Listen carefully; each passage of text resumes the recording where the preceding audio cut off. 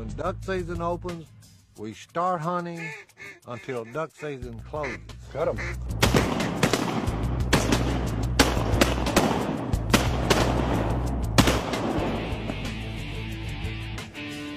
Hidden away in the Louisiana backwater, the duckmen have remained elusive and mysterious for three decades. If I could not hunt, the only thing that would be left, I guess, would be to die. For 30 years, Phil Robertson's life has been dedicated to the relentless pursuit of ducks. I'd fool around with trying to make a better duck call, more duck-like. He pioneered the modern duck call, broke new ground in hunting videos, and redefined the hardcore duck hunter. It's not a, a sport with us, okay? It's a way of life. Si Robertson. You start getting up at 3 o'clock in the morning to get ready to duck hunt.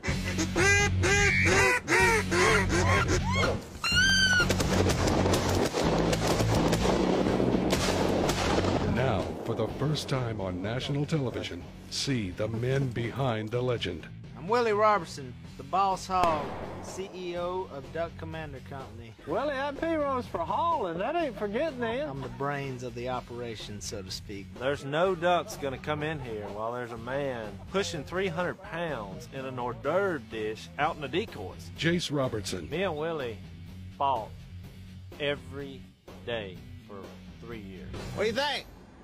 You ain't gonna make it. Jace is a terrible communicator. That's slow? Keep going. Yeah, what we had was a failure to communicate. But that's been our whole life. You just watch the bat. Whoa! Moron, you hit my mailbox. John Godwin. I'm one of the duckmen.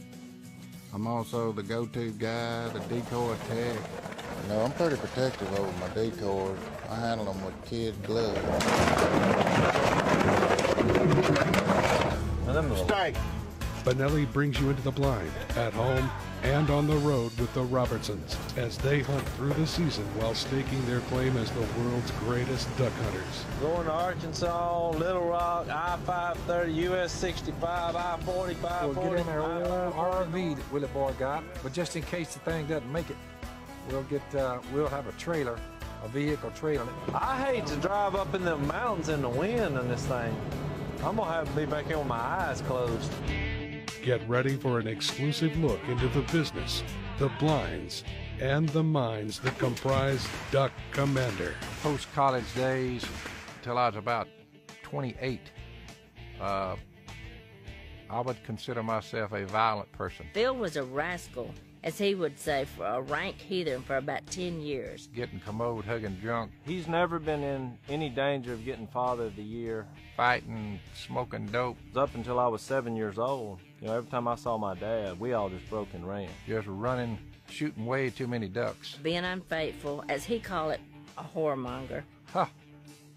Sinner I was, no doubt about that. He's not been perfect, and it's been hard. I gave my life to Jesus at about 28. After he came to the Lord, you know, I saw a big change in his life.